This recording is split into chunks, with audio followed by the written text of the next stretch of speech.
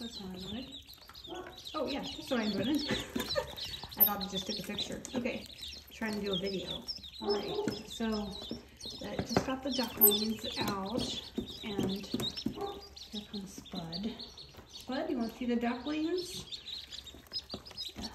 We it's kind of dark in here. Yeah, Spud, come check them out. What is that? Ducklings, yes. Hmm? Not, not so sure about those little guys. Hmm.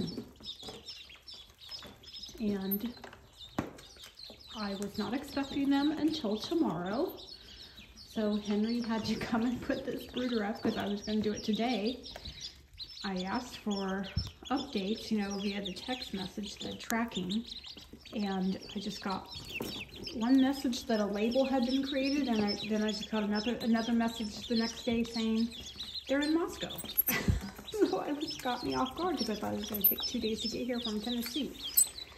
So I just took them out, and um, I did shove them under the heater, but you can see they're really gathering around. The, there's water in that. Um, it's a technically it's a heater, I guess, but that orange heater. So I like to put water in it when they're small because see they they, they can't get in there.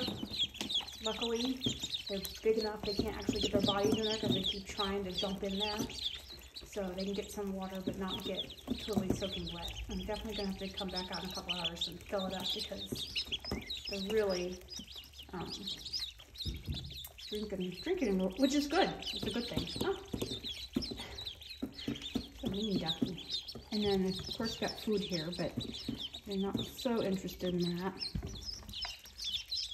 30 ducklings. And there was exactly ordered 30 and they sent 30. So, hope this one out. It seems to be, come on little one, why don't you go under the heat?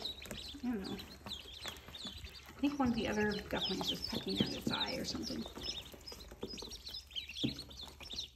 Okay, little ones. I'm gonna go, now I have to put the chicks in, out, get the chicks out of their box. Okay, bye little ducklings.